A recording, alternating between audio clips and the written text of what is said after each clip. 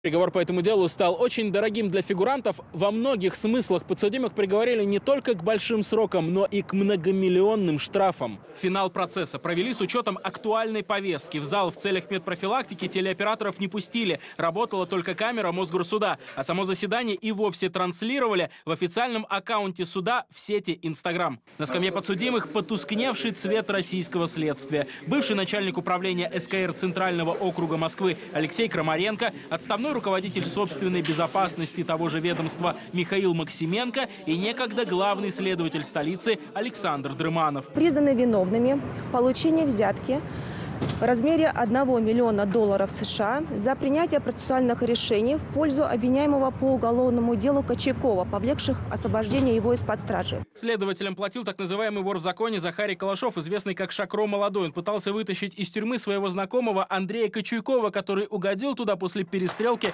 на Рочдельской улице в Москве в 2015 году. Тогда погибли два человека. По оперативным данным, за свободу Кочуйкова Шакро был готов заплатить несколько траншей офицерам СКР. Те свою вину отрицают до сих пор, особенно Рьяна, бывший генерал Дрыманов.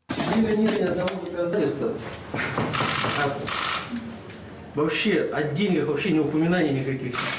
Ни одного человека об этом не говорит. Дрыманова осудили еще и за получение денег от своего зама Дениса Никандрова. Он, в общем-то, стал одним из главных свидетелей, дал показания вообще на всех бывших коллег. Получил чуть больше пяти лет колонии и уже вышел досрочно на свободу. А вот остальных фигурантов суд сегодня приговорил к большим срокам. Михаилу Максименко дали 14 лет лишения свободы, Александру Дрыманову 12, Алексею Крамаренко 10. Всех лишили званий. Суд, ну это его принял решение, снизил те сроки наказания, которые запрашивало гособвинение.